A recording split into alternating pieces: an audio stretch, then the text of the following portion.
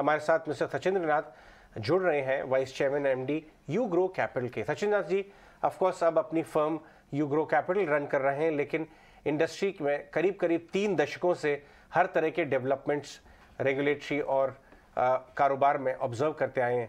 सचिन नाथ जी बहुत बहुत शुक्रिया हमसे बात करने के लिए ई टी नौ स्वदेश पे। सबसे पहले ये बताएँ कि एक तरफ़ तो बॉटम ऑफ़ द पिरामिड में अच्छी डिमांड है क्रेडिट की।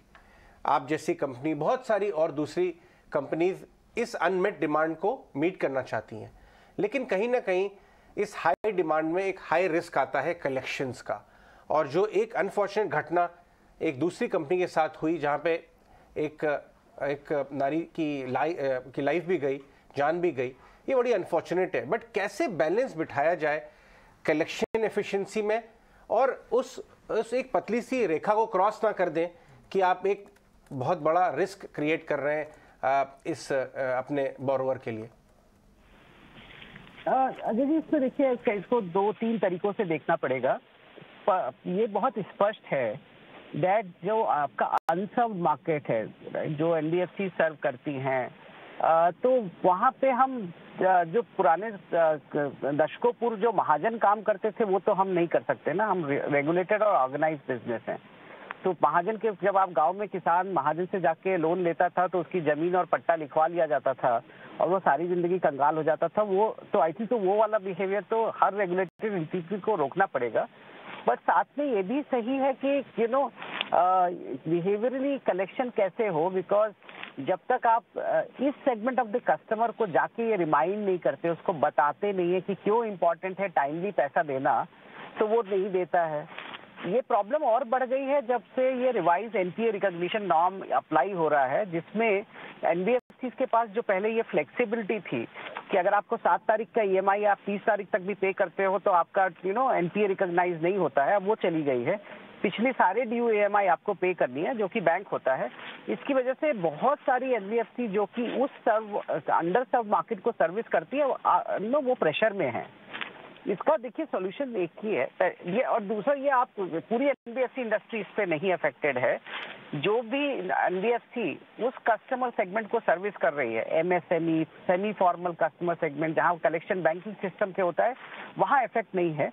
जो अंडर सर्व मार्केट को कर रही है, वहाँ पे बिहेवियर चेंज लाने की ज़रूरत है। खाली ऐसा नहीं है कि आप डंडा दिखा के ही पैसा दे सकते हैं। बिहेवियरली कस्टमर को आप अभी भी जाके रिमाइंड कर सकते हैं। सात बजे सुबह आठ बजे सुबह से सात बजे शाम के बीच में उसको फ़ोन भी कर सकते हैं।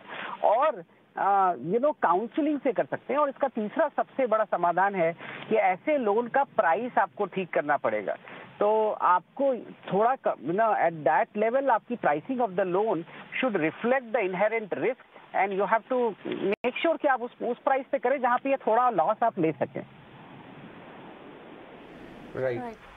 इंडस्ट्री की एक एक फॉलोअप मैं सवाल पूछना चाहूँगा उसके बाद प्रियंका लेंगी एक सवाल कि सचिना जी आप भी एक कंपनी सेटअप कर रहे हैं जो बहुत डिजिटली बहुत एडवांस्ड प्रैक्टिस रखने वाली है और शायद इंडस्ट्री उस डायरेक्शन मूव कर रही है ओवरऑल लोन देने का काम डिसबर्समेंट का काम डिजिटल हो पा रहा है। क्या कलेक्शन में भी टेक्नोलॉजी का बड़ा रोल अब धीरे धीरे प्ले हो रहा है? क्या ये एक सोल्यूशन है? क्योंकि अगर गाँव खेड़े में भी व्हाट्सएप यूज़ हो रहा है दुनिया भर की टेक्नोलॉजी एंटरटेनमेंट की चीज़ें यूज़ हो रही हैं तो क्या ई एम आई रिपेमेंट नहीं यही के ज़रिए नहीं हो सकती टेक्नोलॉजी यूज़ तो सीधा स्पष्ट आंसर है हो सकती है।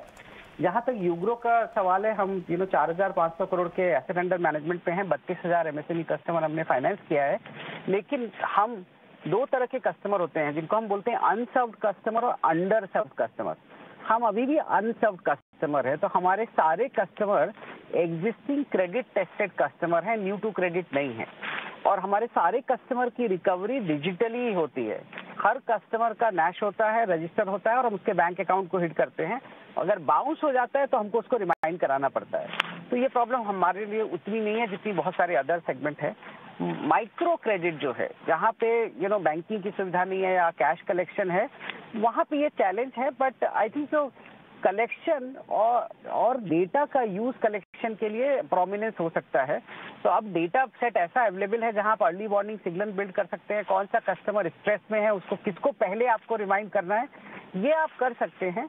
और यूपीआई कलेक्शन थ्रू यूपीआई और उसका यूज़ डेफिनेटली इंप्रूव कर सकता है। तो मार्केटिंग के लिए व्हाट्सएप यूज़ होता है तो कलेक्शन के लिए reminder you know advisory videos बहुत सारी चीज़ें की जा सकती है जहाँ आप कस्टमर को मोटिवेट करें और उसको ये बताएँ कि आप सही टाइम पे पैसा नहीं देंगे तो इससे आपका क्या नुकसान है। आ, तो आप धीरे इसको ग्रेजुअली इंप्रूव कर सकते हैं। इसमें कुछ साल लगेंगे एक दिन का कोई सोल्यूशन नहीं है इसमें। Sachin last question very quickly क्योंकि आप ये बात तो कर भी रहे हैं कि रिकवरी पॉलिसी थोड़ी सी फेयर होनी चाहिए और uh, यहाँ एन के लिए जो रिकवरी पॉलिसी है uh, ज़ाहिर तौर पर uh, वो इस तरह की ना हो कि कस्टमर्स को uh, किसी तरह की परेशानी हो जैसे इस सिनेरियो में पर्टिकुलरली हुआ। लेकिन एक रॉन्ग मैसेजिंग या फिर एक डर का माहौल भी जा सकता है। तो क्या फेयर प्रैक्टिसेस की जो गाइडेंस दी जाती है फेयर पॉलिसी रिकवरी के लिए जो फेयर पॉलिसीज़ और प्रैक्टिसेस बताई जाती है क्या वो एन फॉलो करती हैं? क्योंकि ये मामला हाईलाइट हुआ तो ये सारी बात निकल कर आई।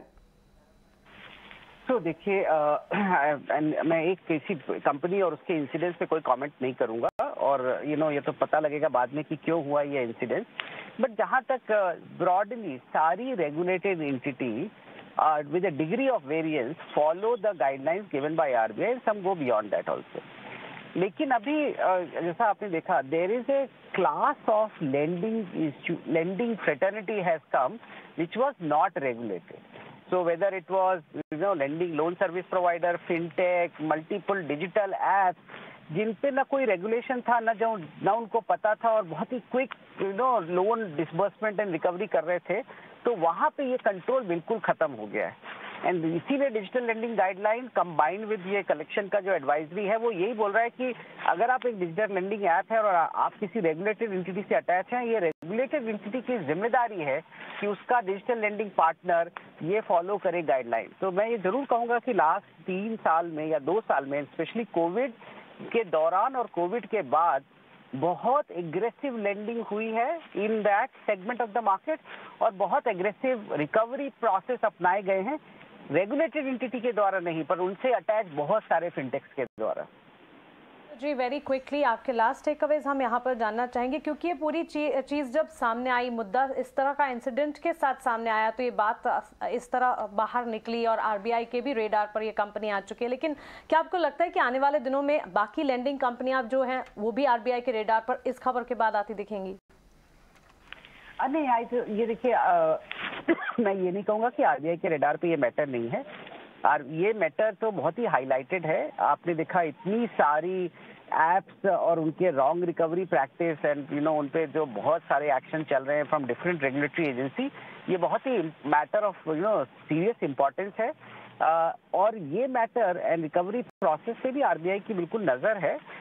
ये एक action of RBI also alert other no entities also कि एक बहुत बड़ी significant financial institution you know जब उसको आरबीआई ऐसा मैसेज देता है तो ये बोलता है आपको ये बोल रहा है आप सब भी इससे इस इस मैसेजिंग से थोड़ा सावधान हो और अपने आप को सुधारो। तो it is it is for the industry to take that message seriously and correct itself whatever they can हर समय रेगुलेटर आके आपको बोले तभी करेक्ट करना ठीक बात नहीं हाँ, सब बहुत ही हम लोग यू नो हमको ये संवेदनशीलता अपने में लानी पड़ेगी। जहाँ पे ना हम स्वयं सुधार करें, जिससे ये रेगुलेटर पे प्रेशर हर समय ना पड़ता रहे। बिल्कुल। बहुत बहुत शुक्रिया मिस्टर नाथ आज समय देने के लिए और ये सारे इनसाइट सारे व्यूज़ हमारे व्यूअर्स के साथ शेयर करने के लिए। तो ज़ाहिर तौर पर आज प्रेशर तो इस इस न्यूज़ से सारे एनबीएफसी पर आपको दिख भी रहा है और इस पर अपने टेक देते हुए मिस्टर नाथ भी।